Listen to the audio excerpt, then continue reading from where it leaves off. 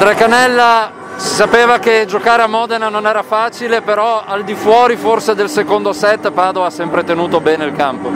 Sì, sappiamo che giocare qua a Modena è molto difficile, è a casa loro, loro mettono un sacco di pressione al servizio, e... però insomma abbiamo retto bene e siamo stati molto bravi a reggere il confronto contro di loro. Una Padova che esce fuori da questo pool playoff, è terminata qui la stagione, che bilancio ne dai? Do un bilancio positivo e sono molto contento e molto fiero dei ragazzi che hanno giocato fino adesso.